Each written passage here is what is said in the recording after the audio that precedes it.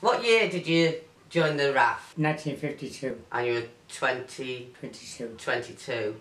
Hmm. What did the letter say, can you remember? Guess ain't quick or else. Did you want to go in? No? No. Well, I was going to get, I, I, I'd saved me time as apprentice. Yeah, I was on, on good, really good money, seven pound or and over seven pound an hour after taxes. Oh God, I, I even had a car to run and a motorbike. So when you went into the RAF, what happened to them? Just, just in the back garden. Did you get them back when you got home? They wouldn't go. So it wasn't a case of you wanted to go, you had to go. Yeah, So when you got there, what was your job? turret mechanic. And what did that involve? On the Sunderland flyboat, well, a lot of aircraft, heavy bombers as well. They had turrets on, on the back and front. And some of them had turrets on there, like the Lancaster had a turret on the back, on the top. Right? It had nothing to do with maybe that was an electric turret, you know. But these had uh, machine guns. uh, uh, I wouldn't call them machine guns. I would have called them pepper pepper pot things. You know, fancy fine, you know, uh, against heavy uh, Ge- heavy arms Ge- German with little uh, uh, these little point three oh three Brownings. Right, did you ever feel like leaving? No, you you couldn't. You would have been shot.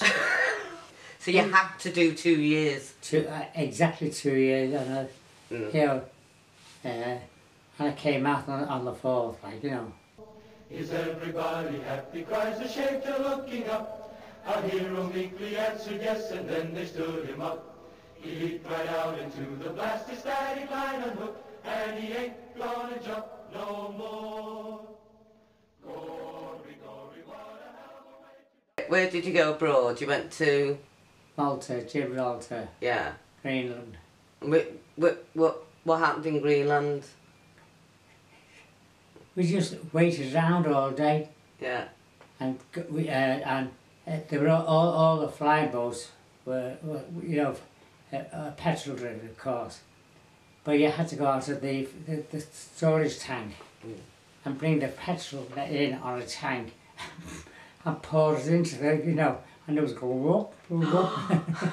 Like a jerry can type of thing. Yeah.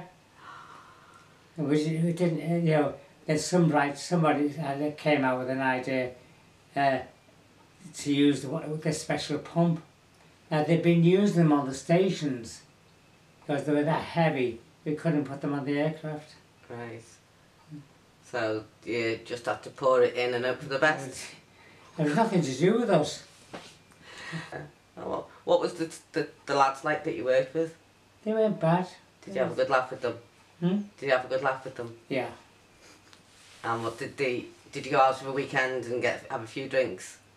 We always got, I didn't, I didn't drink my, because, uh, you know, I got, always, uh, if I got drunk, all I done was fall asleep flat on the floor.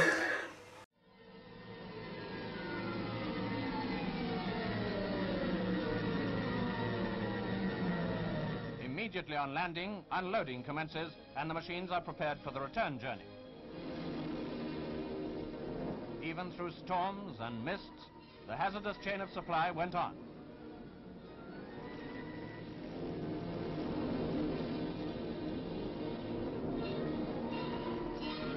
Do you know the original group that you were you were in the RAF with? yeah. When did they first contact you for a reunion? N- uh, about, uh, I'll have to ask your, your, your mum over that. But uh, I, I, I completely forgot. Probably it's probably about fifteen years ago, isn't it? So it, it must be Must fifty- be. about 15, 15 you know. So how many do you reckon were there when you? When we went, I was just showing you, there was 164 at Coventry. Yeah. And uh, the last time we went, there was five, uh, five couples Right. to mix with you.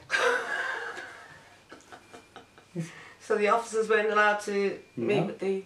You know, you know, you know when you see it in these films, uh, uh, like they've got the officers and uh, uh, and sergeants or, or pilots. Yeah. They never mix together. Sa- They're all separated. They're all you know. Uh, so d- when you, when you were in there, you said something about nosebleeds. Did it when you got to a certain height or something? Did you get nosebleeds? I know. I, I went to I went to become pilot. You know. Yeah. I went for the I went the, for the uh, exam, passed that. You know. Yeah. And then uh, they give you uh, more and more tests, and one of the tests go up to uh, 35,000 feet Yeah. and switch to what's the name off? The, uh, switch the, uh, the, the air controller, the, and uh, it says like a, like a pressure test, you know. Yeah. Then they started bleeding, so down, out. Right. So you didn't do that one again. So what type of plane was that you went up in? And Anson, Right. yeah, and Anson, yeah. So the flying boat, what what height would they go up to? I, I think that the high, the highest was 20,000, I think. 18 to 20,000. But they were there, they were there to go sink German submarines. Right. That's the, their sort of main purpose. And pick, pick uh, aircraft that has been you know, shot down in the, in the channel. Right. Oh, they do transport and things like that, of course, you know. But it was freezing cold. Well, imagine you, you were landing on the 16th of metal. You know, when you landed, Yeah. with the hull about Right. 16 to a quarter of an inch, you know. So it's a bit scary then. Well, you didn't, you didn't believe us or not, you didn't even think of it. I, th- I think if you were in the middle of the sea and this thing landed there, it was like a little sort of angel, wasn't it, to save your life? So,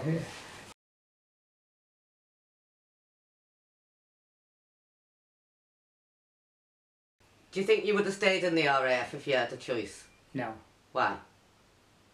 but I had a good job. You didn't like getting shot there. Not that much good. No, I had a, good, a really good job. Well, I'd, I'd done five years